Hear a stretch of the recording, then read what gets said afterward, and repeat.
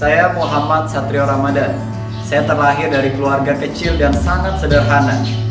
Di masa kecil bahkan saya pernah menjadi seorang pemulung dan penjual air di sekolah. Walaupun demikian, saya memiliki mimpi yang sangat besar, yaitu menjadi Presiden Republik Indonesia.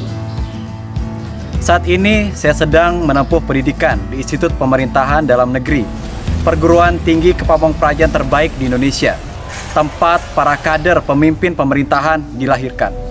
Sejak usia 17 tahun, saya sudah aktif dalam pendidikan generasi muda di berbagai sekolah di Nusa Tenggara Barat, di antaranya SDN 3 Mataram, DIN 2 Mataram, SMPN 8 Mataram, SMPN 15 Mataram, SMAN 4 Mataram, SMAN 7 Mataram, dan Pondok Pesantren Nurul Hikmah di Lombok Barat.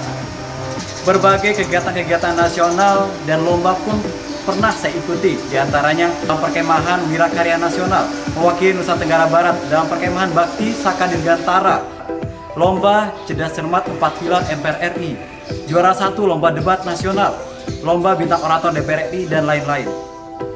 Saat ini saya sedang menjabat sebagai Kepala Wilayah Sena Manggala Kops Praja yang memimpin dan mengarahkan seluruh kegiatan Praja atau mahasiswa IPDN. Saya juga menjadi Ketua Racana Pramuka dan menjadi Kepala Sekolah di Taman Pendidikan Al-Quran Masjid At-Taklim Institut Pemerintahan Dalam Negeri.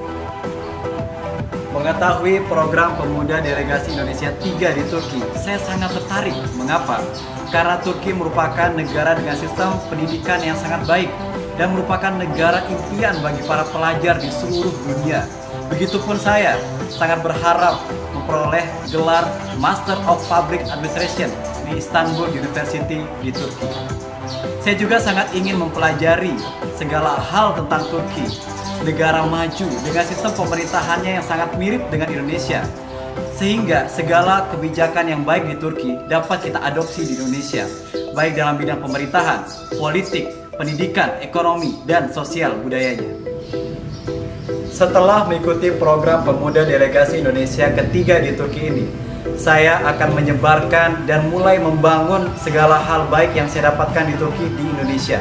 Saya akan bersama dengan saudara-saudara saya seperjuangan di IPDN yang berasal dari 34 provinsi yang kelak akan menjadi aparatur sipil negara yang tentunya memiliki pengaruh dalam proses pengambilan kebijakan di daerah maupun secara nasional.